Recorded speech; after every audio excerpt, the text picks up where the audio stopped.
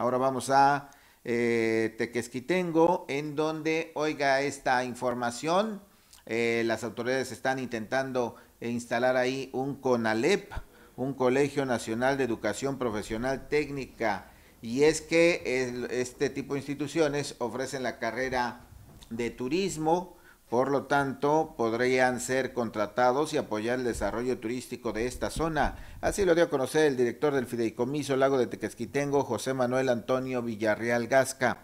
Dijo que ya han sostenido pláticas con la directora del CONALEP Morelos, Carla Alín Herrera, y hay un interés real en que se instale una institución de este tipo en la zona sur y se la quieren traer aquí a Tequesquitengo. En cuanto al predio donde se instalaría, aclaró que el fideicomiso no puede donarlo, pero ya están haciendo gestiones con los municipios y los ejidatarios para que alguno de ellos haga la donación. ¿Qué le parece?